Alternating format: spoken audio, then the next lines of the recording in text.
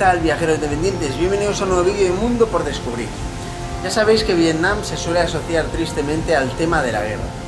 Y nosotros estamos intentando explicar en la medida de lo posible qué pasó en las últimas guerras, sobre todo del siglo XX, entre Vietnam y principalmente Francia y Estados Unidos. Entonces, ya sabéis que hemos hecho ya un vídeo en Ho Chi Minh, hemos hecho otro vídeo en la, ruta, en la zona desmilitarizada y este va a ser el tercer y último vídeo. Relacionado con la guerra. ¿Y dónde va a ser? Ahora vamos a, bueno, pues en la ciudad de Hanoi. Eso es, que vamos a hacer dos visitas, viajeros independientes. La primera de ellas. La primera de ellas aquí, en el Museo de la Guerra. Eso es, viajeros independientes. Con lo cual, vamos a pagar las entradas, que valen 40.000 por persona, 50.000 entrar cada una de las cámaras y ya para adentro.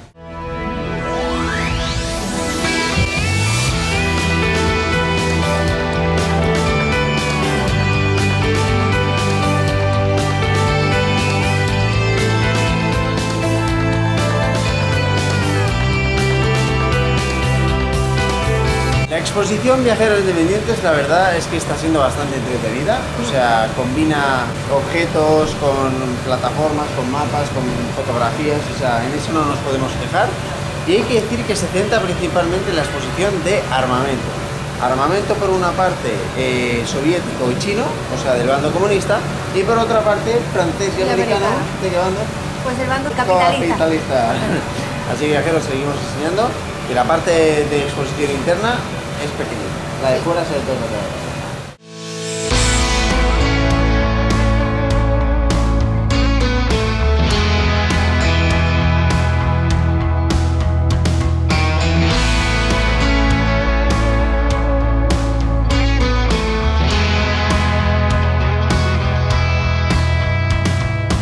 sobre todo la colección que no os podéis perder, como os hemos dicho, es la del exterior. ¿Qué encontramos en el exterior? Bueno, pues aviones, eh, avionetas. ¿Algún eh, helicóptero? Helicópteros, tanques de guerra, eh, jeeps, un montón de cosas. Muchas y esas metralletas grandotas con las que disparan en la guerra. Y no lo parecía, ¿eh? viajeros independientes, No. y todo ello junto a una torre muy emblemática y de bastante tiempo ante, de, de De antigüedad, sí, de pero no sabemos exactamente cuál es el momento. Pero esa sobre todo es lo que nos parece más interesante de visitar. Sí, está súper bien, está interesante.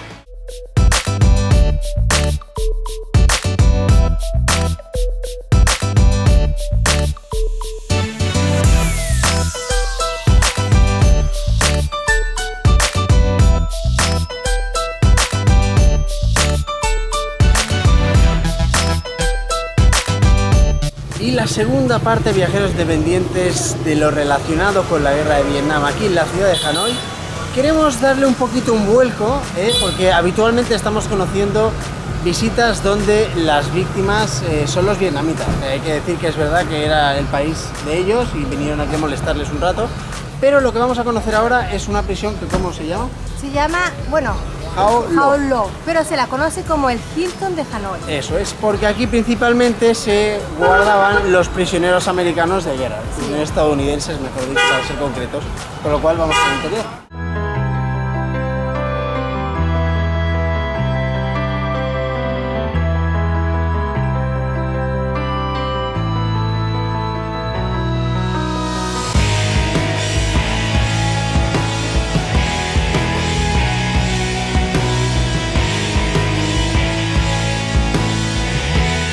Nos estamos dando cuenta de una cosa, Sí, y es que esta prisión sobre todo se utilizó un poco antes de los americanos y es cuando estaban los franceses, en ese momento. Que también metían aquí los franceses a los vietnamitas, o sea, estaban jodidos, porque claro, Sí. si no era una cosa era la otra.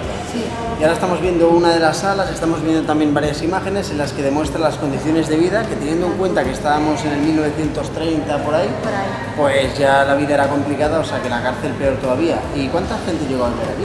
Aquí llegaron a ver hasta 2.000 presos en, en un mismo momento. Increíble, ¿eh? Esto era que no, no podían ni respirar.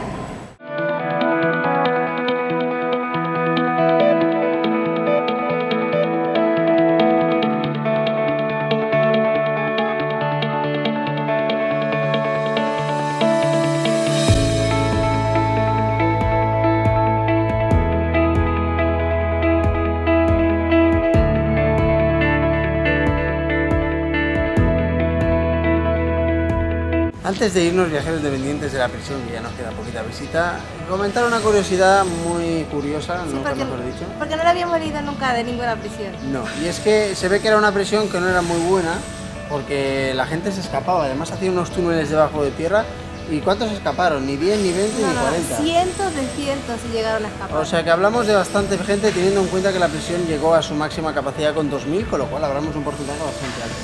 Sí. Y después, antes de irnos, queremos hacer la reflexión de que la, la misma prisión está actualmente repleta de tiendas, yo creo que he contado como dos o tres, de recuerdos de cualquier tipo. No de recuerdos de cosas de la guerra de la No. prisión, ¿eh? o sea, tiendas con De el gorrito típico, con el...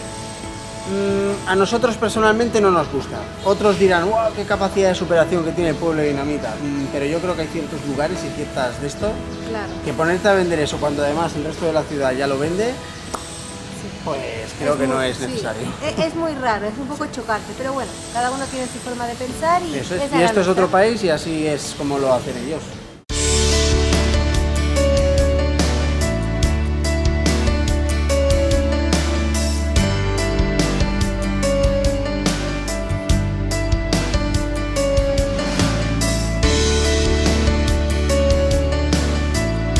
Pues ya hemos acabado, viajeros, este pequeño vídeo que queríamos dedicar al tema de la guerra de Vietnam en esta situación en la ciudad de Hanoi.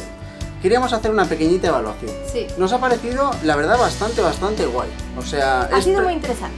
prácticamente de lo que más nos ha gustado de toda la ciudad de Hanoi. Sí, el Museo de la Guerra muy chulo. Muy chulo, hay que decir que está repleto de armamento y que probablemente sea el Museo de Vietnam que más cantidad de aviones y de tanques acumule, más incluso de los que tiene el Museo de la Guerra de Ho Chi Minh, de la ciudad del sur de Saigón. Y el mejor museo sería una fusión entre de Ho Chi Minh y el Sí. de Hanoi, y ahí sería el Museo de la Guerra Eso perfecto. es. El Museo de Ho Chi Minh es un museo más para salir emocionado y salir diciendo, wow, cómo se pasaron en la guerra de Vietnam. Sí. Y este Museo de la Guerra en Hanoi, pues hay que decir que es más para, para mostrar pues el tipo de material que se usó de guerra, Sí. los tipos de...